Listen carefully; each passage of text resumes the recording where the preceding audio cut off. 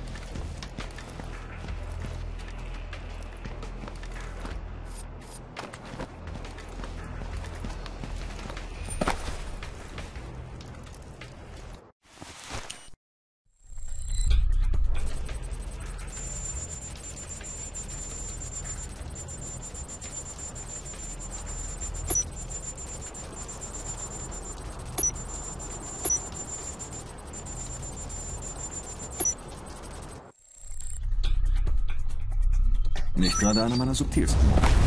Solange es funktioniert. Oh, beeil dich. Die Einheimischen werden schon nervös.